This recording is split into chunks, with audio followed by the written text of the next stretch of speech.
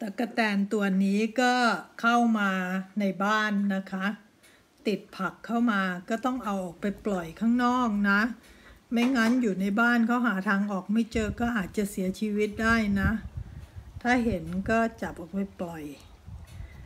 ก็เกาะมือดีนะ ไม่กลัวไม่กระโดดหนีไปไหน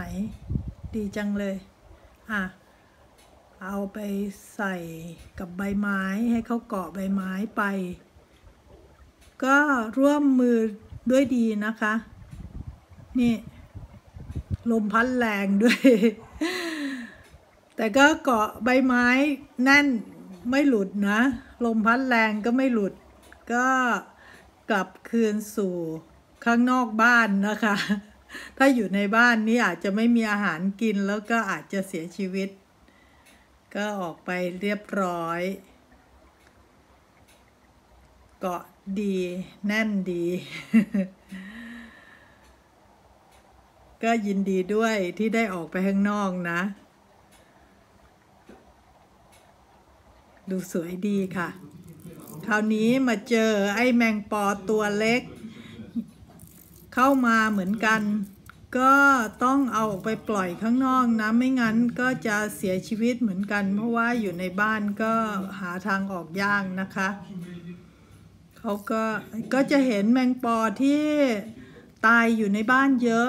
ถ้าเราเห็นว่าเขายังมีชีวิตอยู่ เราก็พยายามช่วยเหลือให้ออกไปข้างนอกนะคะเพราะว่าอยู่ในบ้านนี้ก็หาทางออกไม่เจอ ก็บินไปบินมาแล้วก็ไม่มีอาหารกินก็จะต้อง ก็ไม่รู้ว่านานแค่ไหนเขาจะหมดแรงนะ แต่ว่าถ้าเราเห็นตอนที่ยังมีชีวิตอยู่เราก็เอาออกไปปล่อยข้างนอกนะคะ นี่อ่าก็ไม่ค่อยอยากจะให้ความร่วมมือเขาไม่รู้ว่าเราจะทำอะไรมั้งเอาเกาะดีๆเกาะดีๆ ไปไปออกไปข้างนอก อ่าออกแล้วบินไปแล้วเรียบร้อย อ่าแมงปอตัวใหญ่นะ อันนี้อยู่ตรงใบบัว ก็เขาปีกบินไม่ได้นะ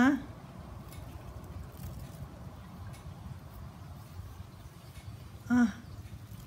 เอาใบไม้ให้เกาะขึ้นมา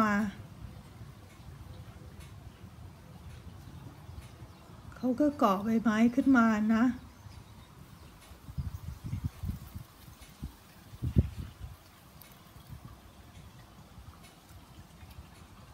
อืม ก่อใบไม้ขึ้นมาก็จะได้ปีกแห้งแล้วก็เดี๋ยวจะได้บินไปนะคะ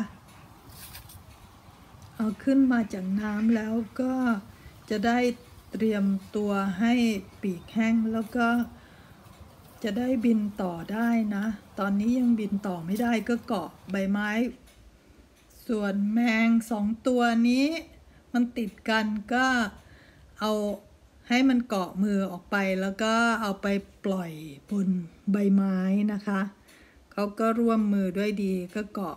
เขาก็ไต่ใบไม้ขึ้นไป แล้วก็อยู่บนนั้นแหละ เดี๋ยวเขาจะไปไหนเขาก็ไปเองได้นะเขาก็อยู่ข้างนอกแล้ว ก็ไม่เป็นอันตรายแล้วมั้งออกไปข้างนอกแล้วถ้าอยู่ในบ้านนี่หาทางออกยากมาก อาจจะเสียชีวิตนะคะ ก็ได้ช่วย แมงต่างๆนะ ก็สนุกดี ก็ดีต่อชีวิตของคนอื่นด้วย